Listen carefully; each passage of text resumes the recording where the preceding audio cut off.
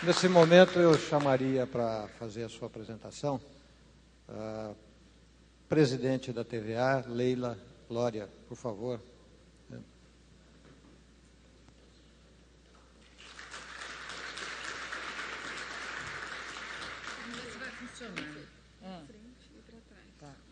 Vamos ver se vai funcionar, né? Bom dia. É, primeiro eu queria agradecer de novo o convite feito pela Telebrasil e é interessante perceber nessa mesa como é que a gente está caminhando na cadeia de valor aqui na Telebrasil. É o terceiro ano que a TVA é convidada como operadora de TV para assinatura e a Patrícia comentou que é o primeiro ano que ela está sendo convidada como produtora de conteúdo internacional. Então, a cadeia de valor, que é o tema da minha apresentação, ela está realmente expandindo. E, em função de toda a discussão, aliás, essa manhã tem sido muito em cima e focado nesse assunto do, do, do PL 29, de todas as discussões, eu achei interessante tentar trazer aqui um pouco da visão nossa do, da cadeia de valor, da forma como a gente sempre percebeu e viveu. Primeiro, é, é interessante que. Por que está essa discussão toda? Porque toda dificuldade, apesar da mobilização de vários segmentos, da mobilização do Congresso, dos, dos deputados, enfim, Ancine, Ministério da Cultura, por que a dificuldade de se chegar a um consenso? Na nossa visão, eu queria dividir um pouco isso com vocês, é que o que está acontecendo com o mercado? Entre a produção, programação, empacotamento e distribuição, que foi a forma como o, o próprio PL de, tentou definir uma cadeia, eu falo tentou porque eu concordo com o João, cada vez está mais, é, é, estão mais fluidas as fronteiras entre os vários players do mercado. Então, na TV aberta, é, é, o que, que acontece? De fato, é, existe a TV aberta trabalha em todos os elos da cadeia, desde a produção, programação, o empacotamento e a distribuição.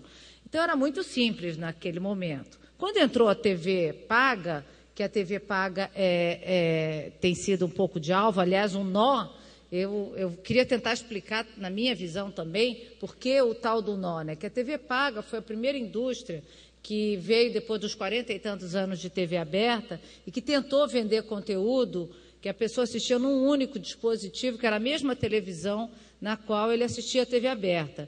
E essa coisa do custo, eu não vou entrar na polêmica do custo e do preço, tem outros fatores, mas naquele momento da percepção do consumidor é, eu não pago pelo conteúdo da TV aberta. Então a TV paga seria cara qualquer que fosse o preço durante muito tempo até acostumar que são conteúdos diferenciados e, e, tem um custo de produção desse conteúdo, como todo mundo sabe, e que tem que ser remunerado. Então, a cadeia foi quebrada. Com a TV paga, a cadeia foi quebrada. Além do. Então, às vezes há uma confusão também nessa discussão que eu queria ressaltar entre o que, que é produtor de conteúdo e o que, que é radiodifusão, por exemplo. Muitas vezes a radiodifusão é confundida com produtor de conteúdo.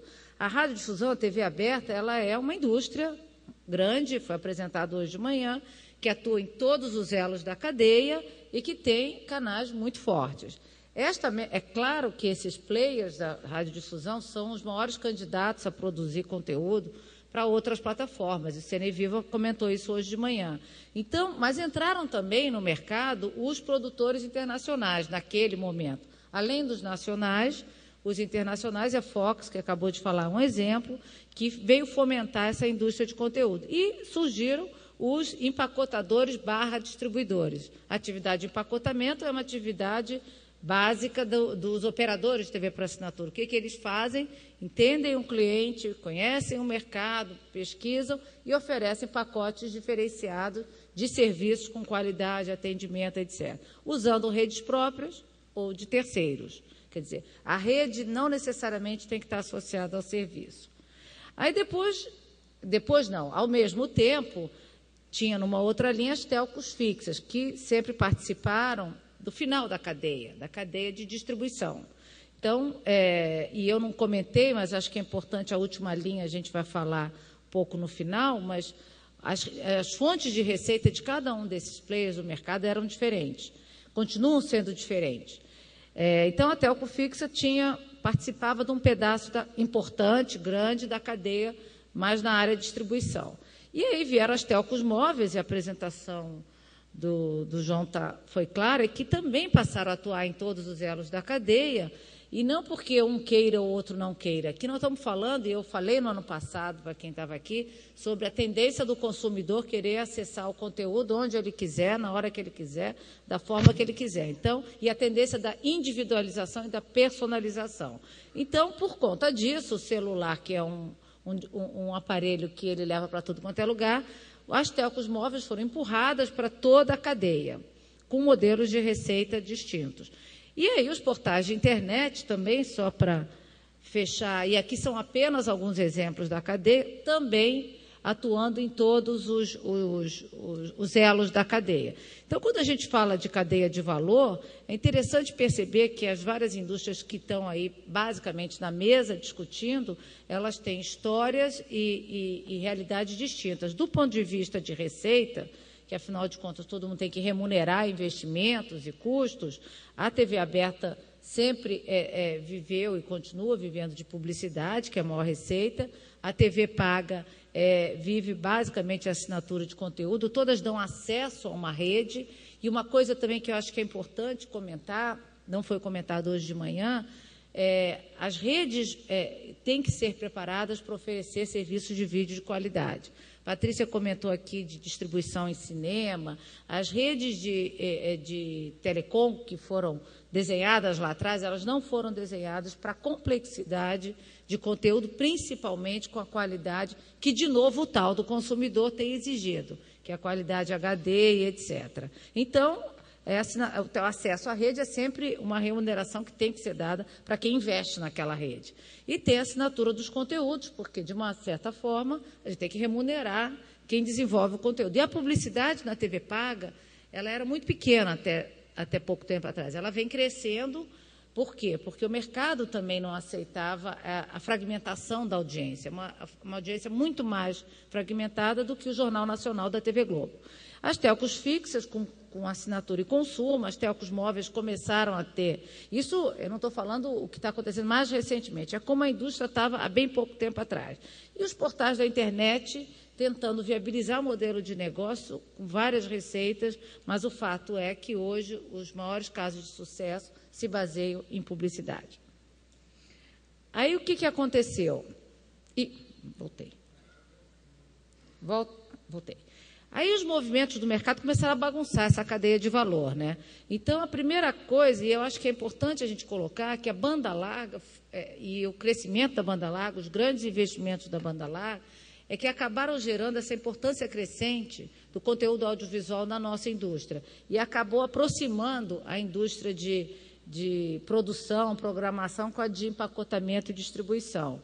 Então, no caso, por exemplo, nós, na indústria de TV por assinatura, foi onde a gente se encontrou com as empresas de telecomunicações. Porque tanto as empresas de TV por assinatura quanto as de telecomunicações começaram a fazer investimentos grandes para oferecer a banda larga. E na medida em que essa banda larga se desenvolve, cresce, aí abre espaço para mais conteúdos audiovisuais. O volume de conteúdos audiovisuais, e, e foi dado um, um, dado aqui do YouTube, mas são realmente fantástico que vem acontecendo na internet como um todo. Além disso, a, a internet começou a quebrar fronteiras. Né? De, além dessa, dessa cadeia que já estava estabelecida, vem novos formatos, como o próprio YouTube, quebrando recorde de audiência, como o Just, que leva conteúdos na internet.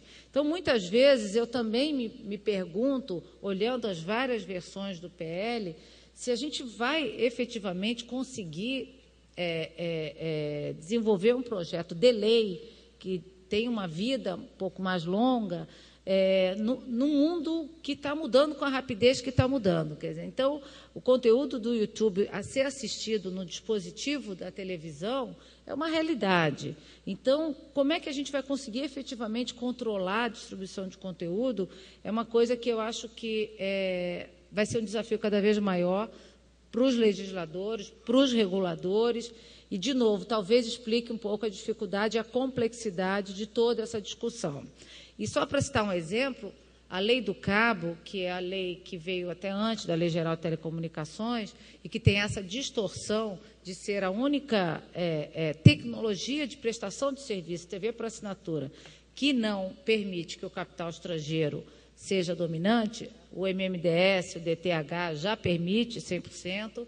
Ontem mesmo foi divulgado que a Sky comprou uma operação de MMDS. Quer dizer, MMDS e, e DTH é permitido 100% de capital estrangeiro. E no cabo tem uma limitação de uma lei lá de trás de 49%. Então, essa limitação e essa distorção acabou sendo incluída em toda uma discussão de conteúdo audiovisual que é muito mais amplo e muito mais complexo do que a limitação do capital estrangeiro. É, o mundo digital, ele também acaba alterando o modelo de distribuição de conteúdo. O que, que acontece? A TV aberta, hoje você pega um aparelho e você consegue assistir a TV aberta no celular. Então, vocês veem que a, que a, que a cadeia está confundindo. Eu estou dando apenas alguns exemplos. Eu poderia criar um, um, um, quadro aqui muito confuso. Então, uma cadeia que era TV aberta, que controlava todo o seu, é, é, os seus elos da cadeia e era assistida em apenas um dispositivo, que era a TV, ela passa a ser assistida, além da internet, agora no celular. E depois se criam novos formatos de, de, estrutura de produto, de comercialização de vídeo também, que é uma coisa que a gente é, tem visto bastante, o vídeo on demand, que apesar de que no Brasil e no mundo se fala muito como um formato das empresas de telecomunicações, de fato, vários operadores de TV por assinatura no mundo, nos Estados Unidos principalmente, têm desenvolvido muito o vídeo on demand. É, a vida era mais simples quando a gente tinha aquele canal que a família inteira assistia a TV em volta da mesma televisão, no mesmo sofá, na mesma hora, mas não é mais assim o mundo. Né? Então, o vídeo on demand é aquilo que eu quero assistir naquele momento, aquele tipo de conteúdo, e, e na, na, minha televisão de casa. A televisão também cada vez se personaliza mais, cada vez a gente tem mais é, TVs, isso gerou uma complexidade, tem toda uma discussão ponto extra aí na mesa, mas gerou uma complexidade maior de administrar uma rede, porque são vários serviços, de cada um quer ter a sua televisão dentro de casa, então isso também gerou um desafio. Estava indo. Ah. E depois, o que eu acho que é importante também a gente não perder de vista, o que está unindo todo mundo é a busca pelo cliente pelo domicílio digital. Isso está efetivamente acelerando a, a, a, a, competição e essa oferta de multisserviço e criando esses desafios regulatórios enormes. Quer dizer, a, a NET e Telmex estão juntas há algum tempo, com grandes benefícios para o mercado. Telefônica comprou a participação da TVA e a gente já começa a ter o resultado da parceria e por aí vai. Então, a entrada das telcos no, no, no Pay TV, enfim, todo mundo buscando o, o, domicílio digital. E quando a gente, a gente também acha que já está desatualizado, porque a gente não devia estar buscando o domicílio digital, e sim o, o cliente digital, porque é onde ele, ele esteja. Então, a mobilidade passa a ser um fator fundamental, aliás, já é um fator crítico, e não só mais para os jovens. Né? Com isso, eu vou focar um pouco nas fontes de receitas.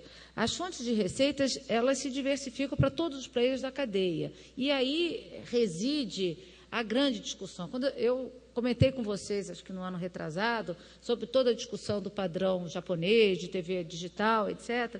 E por trás disso tinha também, é, e principalmente, não um padrão tecnológico, mas a garantia de um modelo de, de receita. Então, a publicidade da TV aberta, que é a grande fonte de receita, não poderia ser dividida, ou não havia interesse que fosse dividida com outros players. Mas a publicidade já está sendo dividida com os portais de internet, é, as telcos também, a TV paga tem crescido a publicidade, porque, de novo, os próprios anunciantes querem comunicações mais dirigidas e não tanto comunicações de massa. É, o, a gente sabe agora que tem a tendência de ser uma, uma, uma sociedade free, é, ou seja, as pessoas não vão pagar diretamente, vão pagar através de outros serviços. Então, esse modelo de negócio é que eu acho que é o grande desafio que está por trás da discussão.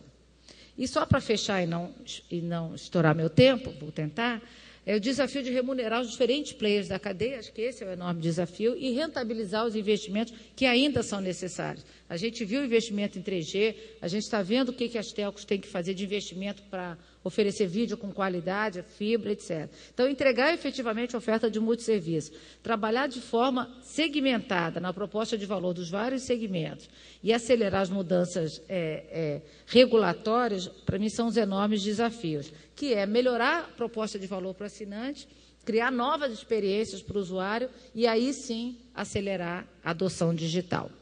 Muito obrigada e eu não estourei, fiquei com crédito de um minuto.